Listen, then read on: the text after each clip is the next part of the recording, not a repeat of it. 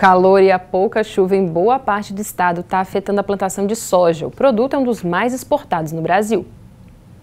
As constantes ondas de calor mudaram a vida da gente. Na produção agrícola não está diferente. Muitas culturas estão fora do prazo para plantio.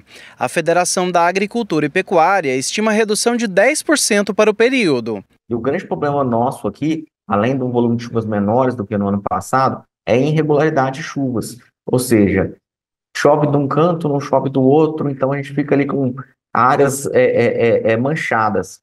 E isso tem causado a redução da produtividade, além das altas temperaturas. Muitas lavouras dependem das precipitações para germinar sementes e garantir o enchimento dos grãos ou frutos. Porém, a previsão do tempo é que não anda muito boa.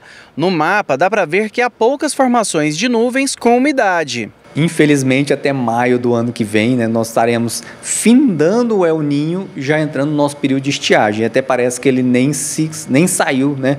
Nós ainda estamos aí nesse é, chuvas bastante irregulares, ela não tem uma recorrência, uma rotina. Nós precisamos de chuvas rotineiras. O resultado a longo prazo é a queda na produtividade, que por consequência vai impactar aqui nas prateleiras do supermercado.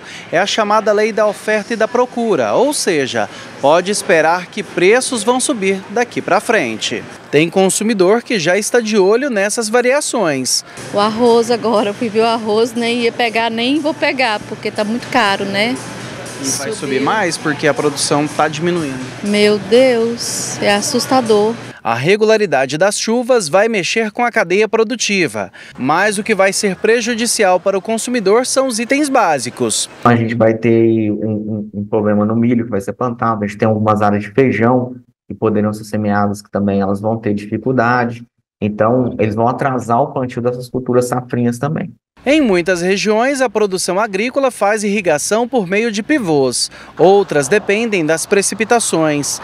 Para os próximos meses, a previsão é de que o El Ninho continue. Os modelos estão entendendo que pode sim ter um retorno de uma laninha que para o estado de Goiás e para o Brasil Central vai ser um divisor de águas.